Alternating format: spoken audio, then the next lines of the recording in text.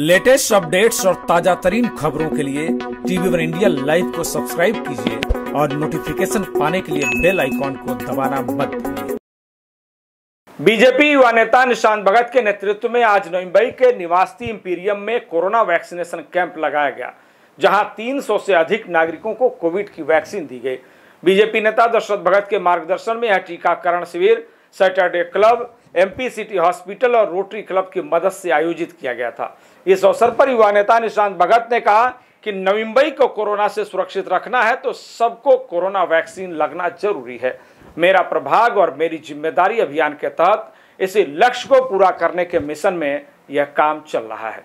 देखिए report.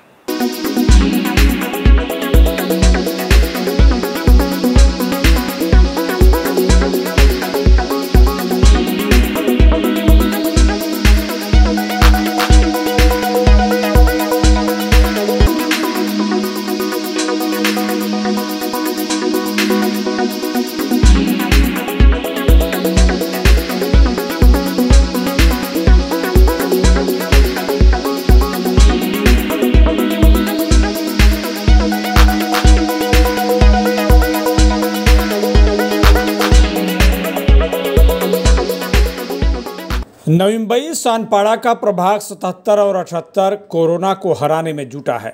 BJP युवा नेता निशांत भगत यहाँ 100 फ़ीसदी वैक्सीनेशन पर ज़ोर दे रहे हैं। इसे आगे बढ़ाते हुए आज निवासी इम्पीरियम में चौथा कोरोना टीकाकरण कैंप लगाया गया, जहाँ 300 से अधिक नागरिकों ने कोविड वैक्सीन लगवाई।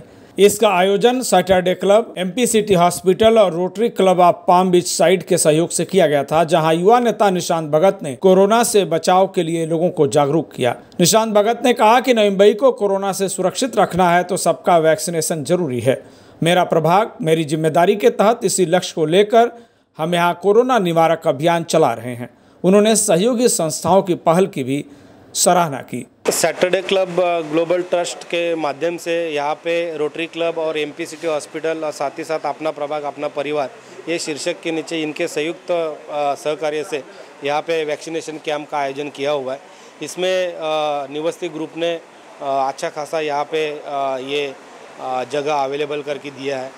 साथ ही साथ मैंने पिछले कुछ दिनों से मैं बोलते आ रहा हूँ कि आवर इंटेंशन 100 परसेंट वैक्सीनेशन यही बात सामने रख के, जो जो कैंप अभी तक रखा, उसमें जब भी शहर सुरक्षित होगा वैक्सीन लेके, वैसे ही मेरा प्रभाग सुरक्षित होगा वैक्सीन लेके। 200 लोगों ने रजिस्ट्रेशन किया है, ऐसे में आज के पूरे दिन में, मेरे को ऐसा लग रहा है कि 400 से 500 लोग यहाँ पे वैक्सीनेशन का, ये कैंप का लाभ उठाएँगे, ऐसा मेरे को पूरा विश्वास है। वहीं वैक्सीनेशन कार्यक्रम के सहयोगी सैटरडे क्लब और रोटरी क्लब के पदाधिकारियों ने, बीजेपी नेता दशरथ भगत के मार्गदर्शन और युवा नेता निशांत भगत के नेतृत्व में चलाए जा रहे कोरोना निवारक अभियानों और जागरूकता कार्यक्रमों की सराहना की और इसे नागरिकों के लिए उपयोगी बताया।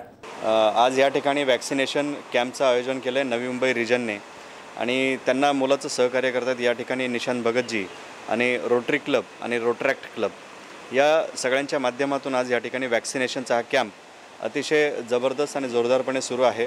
आपण पाहू शकतो की आतमध्ये अनेक लोकांनी अनेक नागरिकांनी वॅक्सिनेशन त्यामध्ये पहिला आणि दुसरा डोस घेत आहेत आणि घेतला आहे.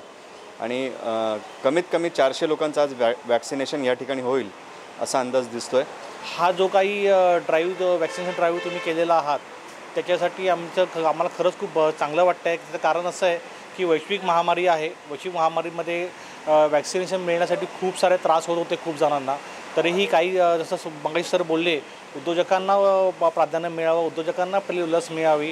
कारण आमचं साठे ग्लोबल ट्रस्ट ही उद्योजकांची स चळवळ आहे उद्योजकांची संघटना आहे. तर त्यासाठी हा ड्राईव्ह नवी मुंबई रिजनने घेतलेला होता. त्यावर तुमचे खरंच खरंच धन्यवाद. Bureau report T V one India.